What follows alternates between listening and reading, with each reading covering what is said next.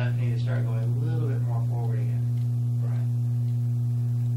Even though your hips are touching that line, it's kind of more in front of your knee, isn't it? Yeah. Versus, it's more the knee leading the hip instead of the hip leading the knee. Yeah. Okay, but the key is that you still have to rotate that left arm so